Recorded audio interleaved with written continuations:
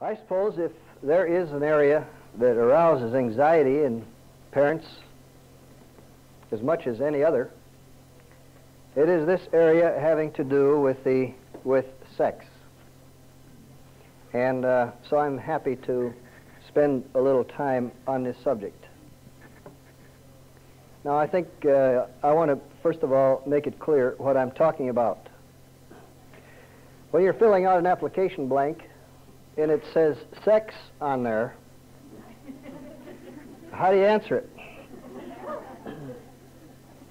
Do you answer it yes or no?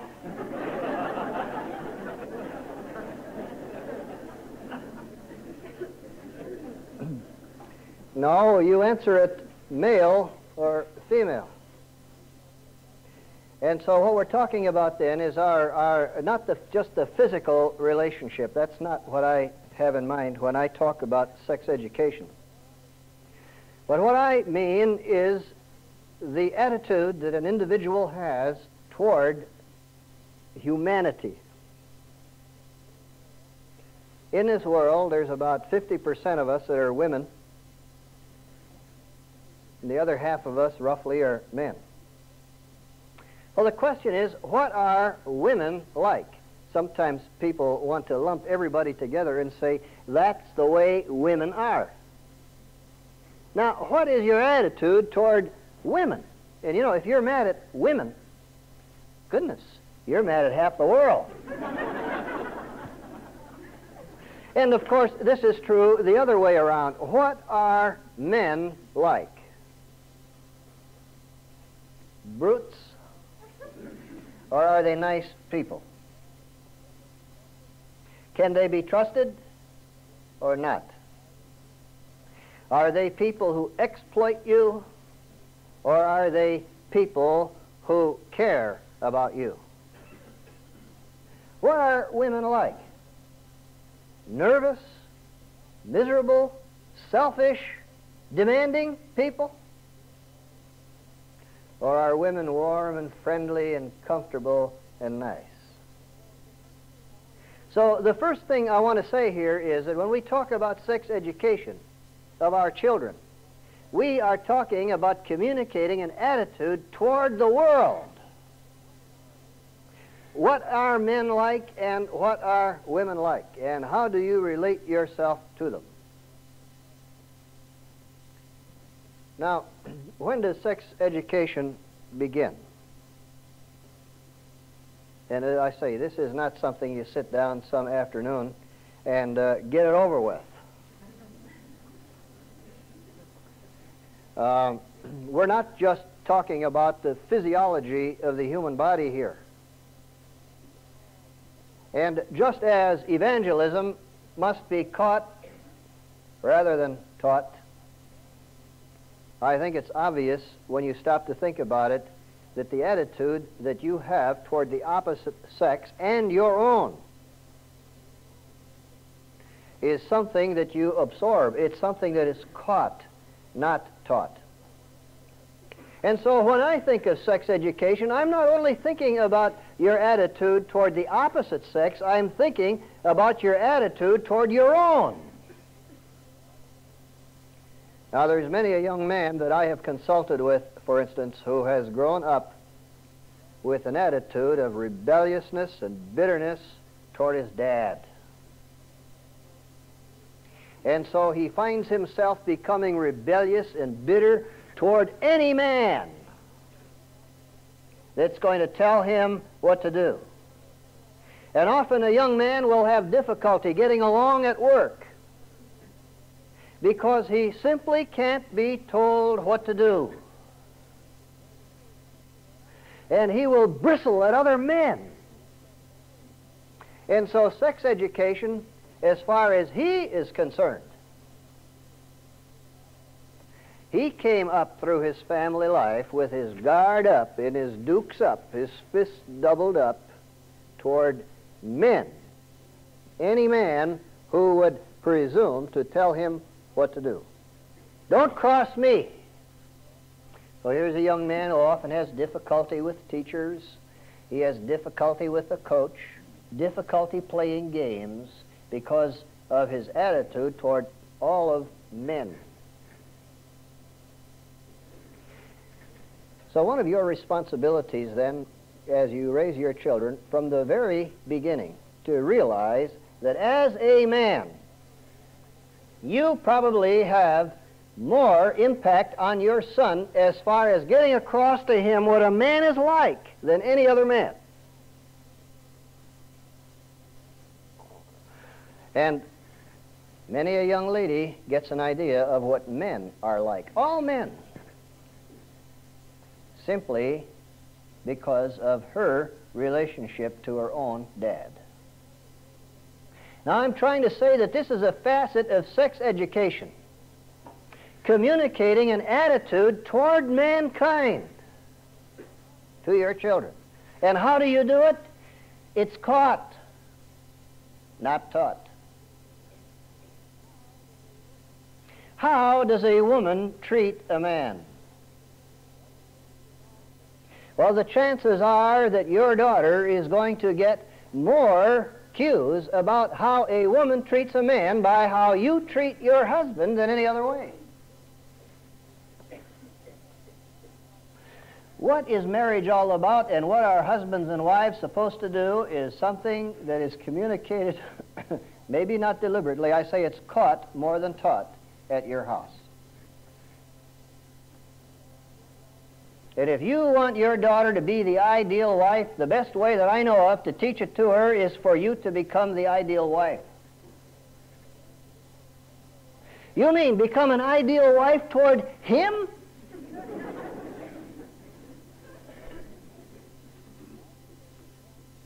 Well, if there's a price on you being a nice lady, I'll be nice to you under these conditions. One, two, three. Then don't be surprised if you find your daughter putting a price on her being nice.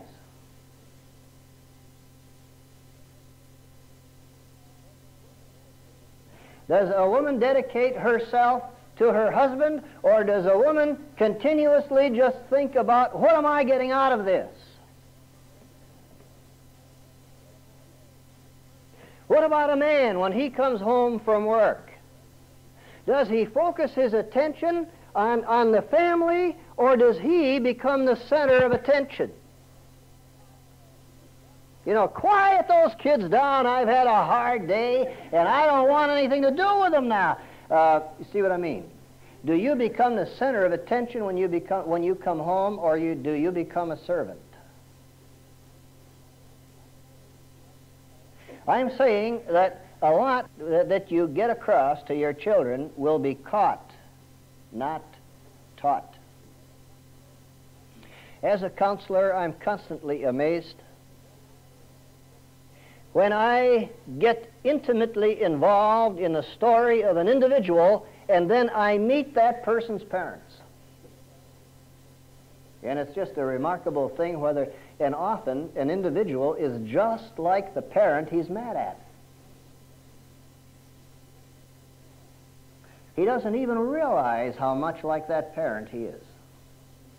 And so we have a responsibility here, first of all, when it comes to sex education, for us to, to strive to understand what manner of man we ought to be in God's sight. And understanding that, that we diligently seek to become that kind of person.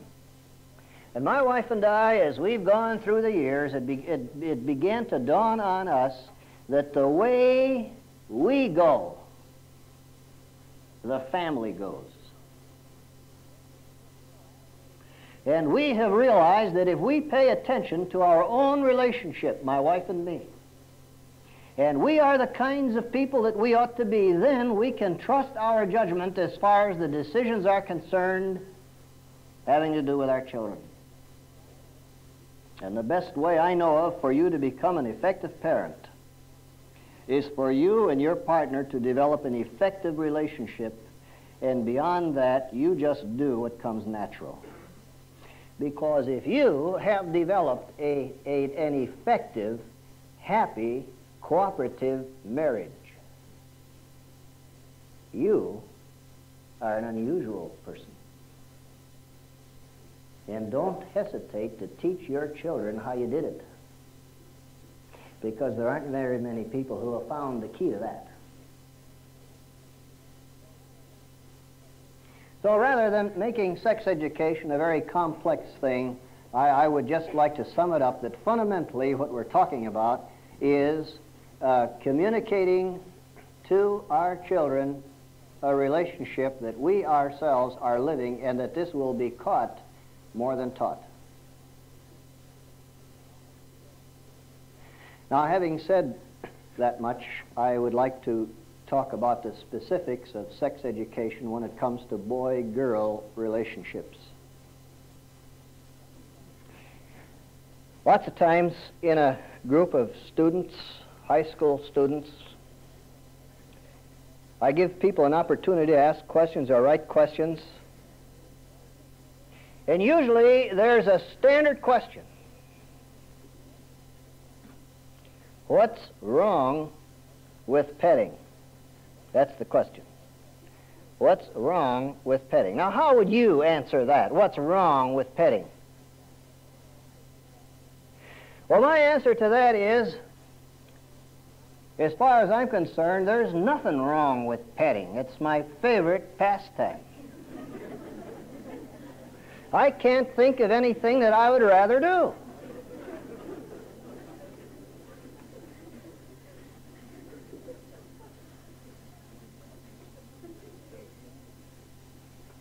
Would you buy that?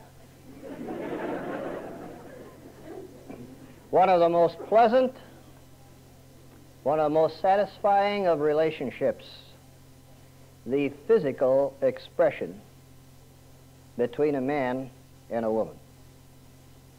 It's great, isn't it? Oh, come on. You, you,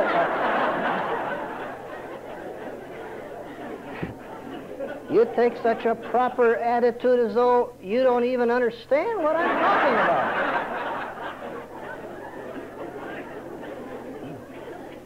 I'm talking about kissing and hugging and fondling. And what's wrong with that? Now, the only question about it is timing.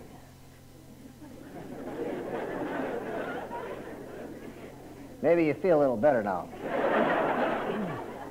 but as far as pleasurableness is concerned, listen, your kids are going to swipe a kiss whether you like it or not.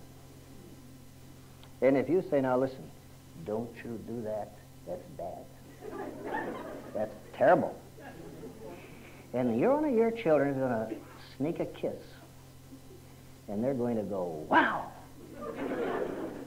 What's wrong with my dad?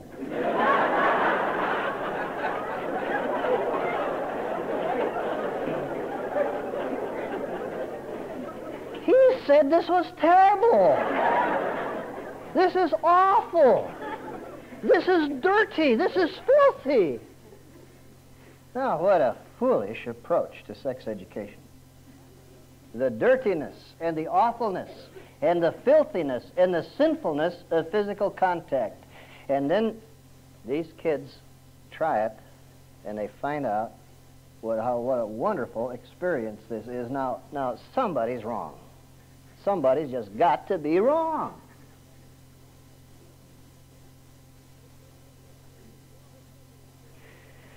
You know, it says in the scriptures in the second chapter of Genesis, God created man. God did it. He created man in his own image, and in the image of God created he him, and male and female created he him. God did that. It was God's idea to make a woman. A woman's breast is God's idea. The female reproductive system is God's idea.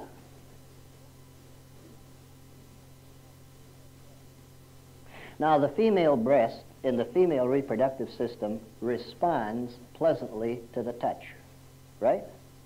Do you know who thought of that? Do you know who designed that? God did. The male reproductive system is God's idea.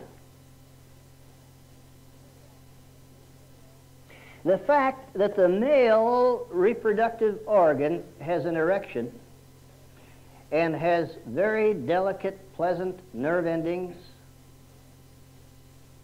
You know who thought of that? God did.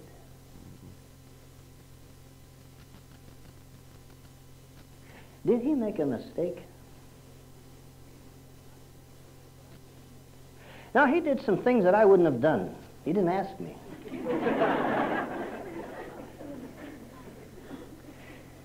the human reproductive system doesn't develop all at once, and uh, some of the signals that the female is, that the reproductive system is developing, is ripe, is the fact that the breasts are beginning to develop, the girl becomes more curvaceous, and girls are noticeable, aren't they? Haven't you noticed? I can't understand you fellows. God made women so you can't miss them. Now, of course, when you get you when you get to be your age, you learn to look at them without without uh, anybody realizing you're looking at them. but you can't tell me that you don't see a pretty woman and I'm not, I don't, I argue that I'm not an exception, that when I walk down the street and bingo, there's a beauty. And there she is. I can't help it that God made them that way. There isn't anything wrong with enjoying the beauty of a woman. Or is there? Are we supposed to act like they aren't beautiful? Are we supposed to act like we don't notice them? You can't hand me that, buddy. Men notice women. And men are physically stimulated by what they see. And I'll tell you, in our day and age, that's stimulating.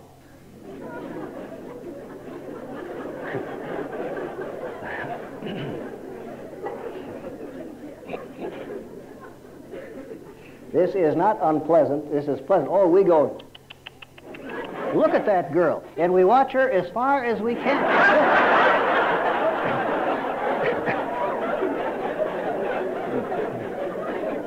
Can you imagine a girl dressing like that? Just look at that. And, and, and there's another one. Can you imagine? And so we look properly indignant. But nevertheless, we are well aware of the fact that a woman is mighty appealing to a man. And you women ought to be well aware of that. And this is God's idea. And I've talked in the consulting room to many a woman who wakes up to the fact that after she got married, that the world of men did not disappear. And they are still there, and they are still attractive. Now, we're supposed to act like we are, not, we are suddenly now unaware of men. But you ladies know better than that. Now, God made us in such a way that we can respond physically to any woman, not one woman, any woman. Well, not any woman, but many women.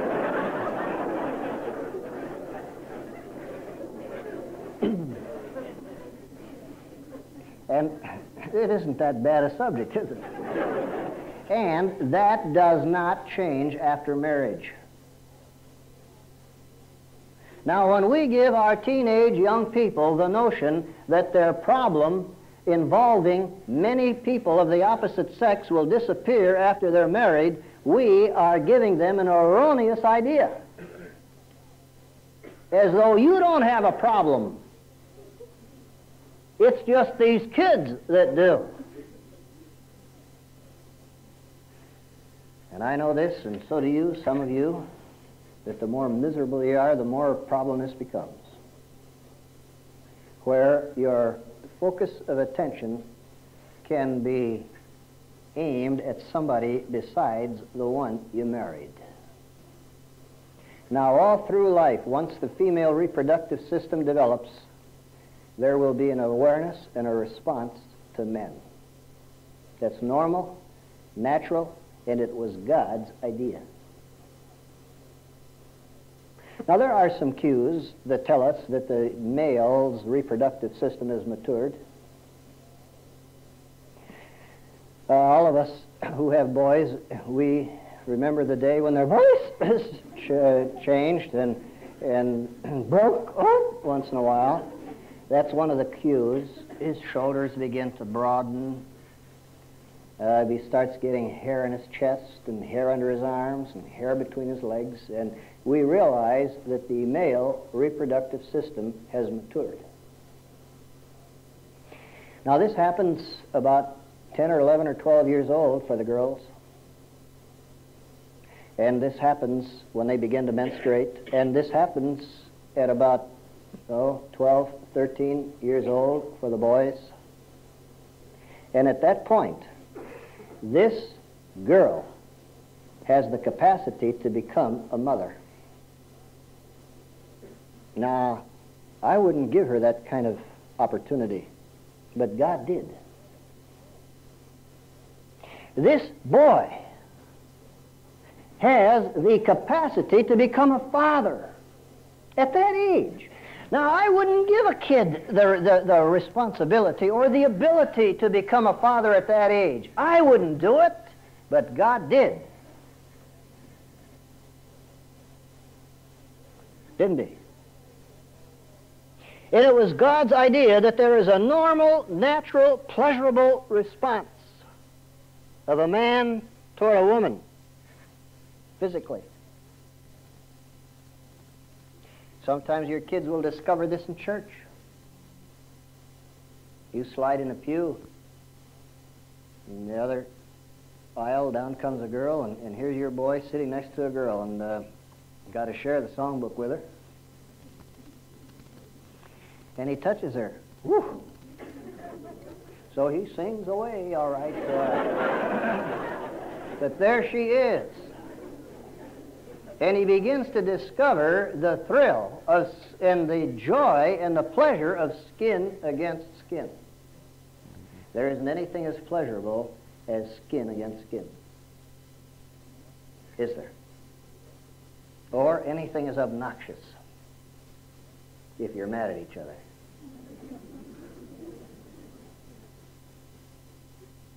Now you watch these kids. Here's a fellow starting to lead his girl around by the hand. And you wonder, what happened to her? I mean, she's gotten along okay. She knows where to go. She hasn't gotten lost. and all of a sudden, this fellow leads her uh, down the church pew. Oh, you can't get lost going down a church pew. But he's leading this girl by the hand. And not only that, he sits down and hangs on to her. Now, I don't know where he thinks she's going. Why does he do that? You don't. Or do you? Used to be fun. And you see these young people sit as close to each other as they can. Why? Because skin against skin is one of the most satisfying of feelings. And these young people have discovered this. You watch that fellow leading his girl around by the hand, and pretty soon he's got his arm around her. Did you? That's one of the most uncomfortable ways there is to get anywhere. I mean, if you want to get somewhere, uh, you free yourself. You don't wrap your arms around somebody else and try to stay. Why, why do they do that? Because they discovered that the closer you can get, the more thrill there is. And then you watch these people sneaking off by themselves in the dark. Now, what can you do in the dark? Troubles are like photographs. They are developed in dark places. And sitting for hours in a dark room or a parked car and kiss, kiss, kissing is ask, ask, asking for trouble. Prolonged kissing is the first step in serious lovemaking, and it whets the appetite, and it, It's meant to warm up, warm up the engines in preparation for a trip to the moon. That's what I said to my son when he went away to college. Son, keep those engines in neutral. And he came back for his first vacation and he said, Boy, Dad, they won't stay in neutral.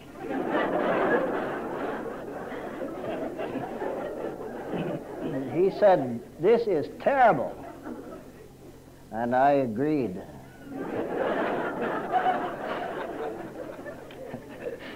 that, boy, I know how you feel. It's a, really a rough period to go through, but just hold steady, boy. As much fun as it is, and as much thrill as it is to have a physical relationship with a girl.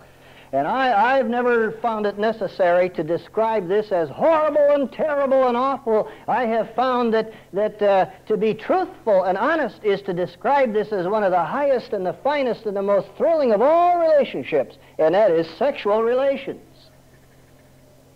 It's so thrilling and so wonderful that it's just a shame to spoil it and a few pleasurable moments that can ruin it for the rest of your life just isn't worth it. You say it's, it's too good to wait. I say, that's right, it's so good, you better wait. And another year more, and you'll have a lifetime of real joy and pleasure. Don't spoil it. But you can get yourself in a spot where because of your physical involvement, you lose your reason, you lose your judgment, and you come to the conclusion that if I tingle all over like this around this girl, it's got to be the one. And I want to reassure you, my son, that you can tingle like that over a dozen women. And the fact that you tingle when you touch a woman doesn't mean anything except that you're a normal young man. But I've been in this counseling business long enough to know that there are people who say that this physical interplay between you and me is so wonderful, we've just got to get married. And, and just imagine spending the rest of our lives enjoying this physical contact. And if you do it at the cost of not paying any attention to what kind of person this is, and looking at your long-range goals, it isn't going to take you very long, and that person that made you tingle all over will just fill you with, you'll just despise her. I've had people tell me who just couldn't wait. In a few months, they're in a consulting room saying, I can't stand him even to touch me. Or I've had people say the house isn't big enough for the two of us. These are the two people who seemed to want to crawl inside of each other just a few months ago. And now, the house isn't big enough for the two of them. No, you don't get married on the basis of the fact that a man responds physically to a woman. Well, you can respond to a billboard. These advertising people know that. Here's this pretty girl on this billboard. And then sure enough, after a while, you notice that beside her is a tractor. And you see, that was the idea in the first place. Now, those fellows, they knew that you wouldn't see the tractor first. But if they put a pretty girl up there, the chances are you might notice the tractor. And all of us need to realize the normality and the naturalness of this physical contact, but we need to teach our children that this physical response is something that can happen between you and any one woman. Not only that, but when you get married, this response to women is not restricted to your wife. You don't lose your eyesight when you get married. Nor do you lose the normality of being responsive to other women after you get married. Now, what am I saying? I'm saying that the idea that we need to get across to our children is the fact that they have the responsibility of the stewardship of their body. God gave you that responsibility. Imagine God. It, ha- it would have to be a God. Any man in his right mind wouldn't have done it. Imagine giving a 13 year old girl the decision to make as to whether or not she's going to respond to a young man. And should she respond, she has the choice, the power to become a mother. Think of it 13 years old. Oh, my, what a responsibility. And I think this is the way we need to get it across this wonderful, wonderful experience. God has given into your control at 13. Think of the trust. Think of the responsibility. Same way with a young man. God has given you the power to be a dad before you have the power to support a child. We need to get the idea of the stewardship of the body, the responsibility, the wonder of it all, the thrill of it all, the beautiful, thrilling prospect of it all. We've got to get this idea across to our children. It's, it's like, you know, kids want to drive a car long before they're able. And you don't let children drive a car because they want to drive a car. They've got to wait. They must, and many a man says, oh, I don't want to cause my child this suffering, and so I'm going to let him drive the car before he's ready. You think you're doing your child a favor? You know what you're doing? You're setting the stage for saying to your child, you just do what you want to do, son or daughter. Why wait? Go ahead and drive the car. There isn't anything wrong with cars, but it's a matter of timing. It's a matter of stewardship, trust. Take eating, for instance. There it is. You can indulge yourself. There it is, after all. If I feel like eating, why don't I? Why shouldn't I eat? You realize what you're getting across to your children when you just eat because you feel like it? You're getting the idea across. If you feel like it, do it.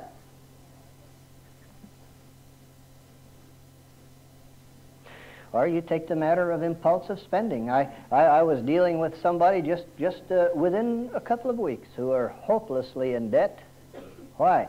Because when they want something, they go ahead and buy it. They'll worry about paying for it some other time. Why should you buy it? Because I want it. That's why I buy it. I want it.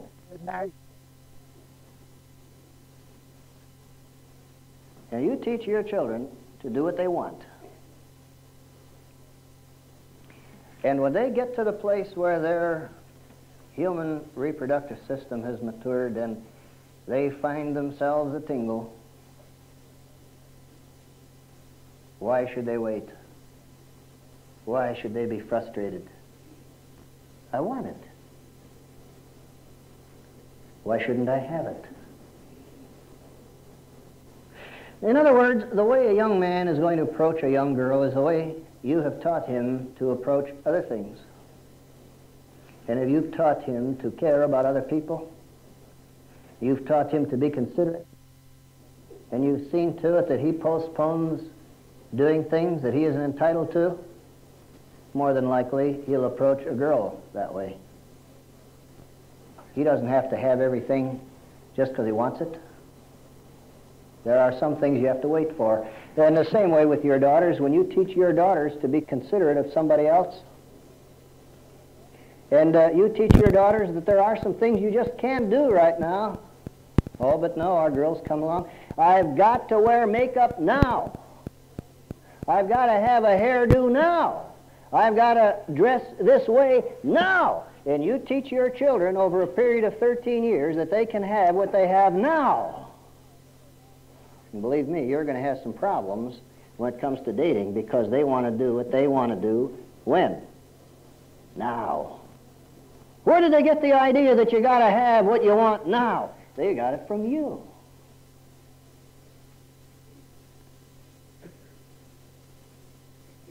And we need to teach our children that there are some things that you don't do right now. I had a knockdown, drag-out battle with my son for three years. Three years. In high school, he wanted a car. His buddies had cars. They come tearing into our driveway with their cars. And I said to my son, you, you can drive our car. Uh, Daddy's car. Poor kid, you know what he had to drive? A Roadmaster Buick. Now, is that any way to treat a kid? I'll tell you, he felt like one of the most mistreated people. But I told him, as far as I know, when I, when I look at your buddies, and I look at their records in school, and when I look at the statistics, they all tell me that a high school kid doesn't need a car, and you're not going to have one. But this is my money. But you're my responsibility, and just because you have some money doesn't mean that you can just spend it any way you please. Your money, you don't have the authority to spend your own money. Oh, I tell you, we had it over and over and over and over and over. He would show me all kinds of illustrations of fellows who had their cars, and I would show him all kinds of illustrations of the accidents and the statistics about why he shouldn't have a car. And then it was time to go to college. Well, now, a college kid surely ought to be able to have a car. uh, we'll see. And you see, during high school, Dick trained himself not to study. That was his goal. and he was just smart enough to get by without doing it. And so when he went to college, naturally, he had this highly trained skill. and he found out that uh, it was a little different at college, and so when the first grades came back, they didn't look too good. And when we discussed the matter of a car, it didn't make any sense at all for a fellow with those kind of grades to have a car.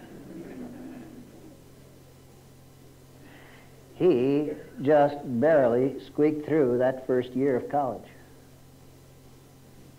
on probation. And the second. And so on went the debate about the car. He didn't get a car all the way through college. This was an ongoing debate between us. But I just couldn't see the point. Now, I don't think he should have had one because he was too willful to have one. You say, well, how do you teach a fellow uh, dependability if you tie his hands like that? You teach a fellow dependability by example. And if he doesn't take your example, don't be foolish enough to think that you're going to teach him dependability by giving him what he wants. My son would say, Don't you trust me? The answer was no. I, I don't see any basis for trusting you. You want to be trusted? All right, I'll trust you. Earn it. Show it. Show me. Why, in the business world, you don't turn a business over to a fellow and say, here, do your best. You know, after all, you got to learn. No, you turn him over to somebody that has a skill. And you teach him that skill by example. And then you let him, and then you give him some responsibility when you are satisfied that he will succeed. Now, this has been my philosophy that you don't give an individual responsibility until you're pretty sure that he can succeed with it. Let me have my head and let me run around so that I can learn responsibility. I would say if your child is irresponsible, you'd better not let your child go out alone.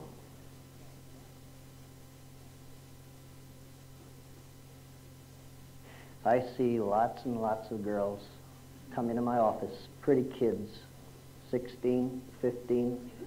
They come in like this. Oh, they had a lot of fun, though. Oh, they had the thrills. And I've listened to many a young child wail, how can something that was so beautiful turn out to be so horrible?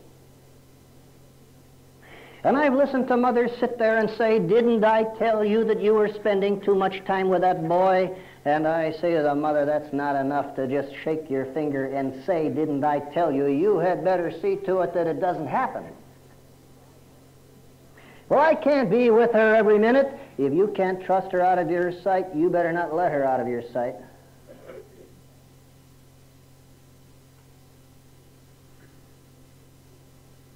We need to teach our children and give them a sense of stewardship of the body. And this child is a product of my loins. And therefore, this child is finally my responsibility. And it's my final choice what he does. And I'm saying that we need to teach our children something about obedience. And obedience often involves the fact that you can't do what you want to do right now. You got to wait. If ever this idea of, of stewardship and responsibility is important, it's in this field of boy-girl relations. I hope I've made my point. How do you teach them responsibility? by your example. Well, let me finish this passage here. We were talking, remember, about revving up the engines? Who asked you to warm up the engines? I can't be more emphatic when I say keep away from tempting situations. Avoid overparking. You can get a ticket to some pretty unpleasant places. Double date. Don't invite them over when nobody's home.